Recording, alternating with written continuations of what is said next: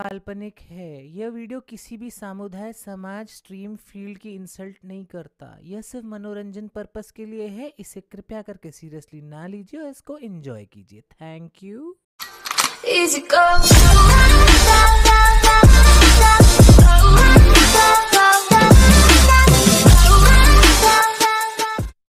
ओ दाजु, यो बानेश्वर जाने बाटो भनिदिनुहोस् न।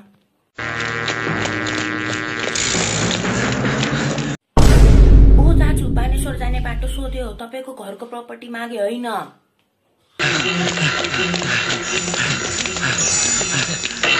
एक सेकेन्ड तपाईँलाई त कहीँ चिने जस्तो लाग्यो कहाँ देखे जस्तो। ए तपाईँको नाम राजेश समान होइन?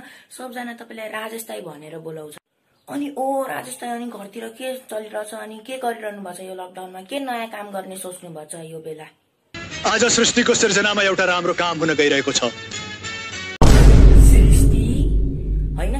सृष्टि भने। कति ठुलो ठुलो कुरा अरे कि सबजना राजेश दाई राजेश दाई भन्ने मध्येमै तपाईँलाई के लाग्छ तपाईँ अति नै ठुलो मान्छे हुनुभयो। के तपाईँलाई लाग्छ कि तपाईँ भगवान हो? मान्छे हुँ मान्छे! तर त जस्तो असुरको लागि शङ्कर शङ्कर हुँ। नर पिचासको लागि नरसिंह र त जस्तो रक्तबीजको लागि नरदेवी उग्रचण्डी भद्रकालीको छोरा मान्छे। शङ्कर हुँ शङ्कर! शङ्कर रे? ए तापेचे शंकर त्यसमै म तपाईँको लागि डबल भयङ्कर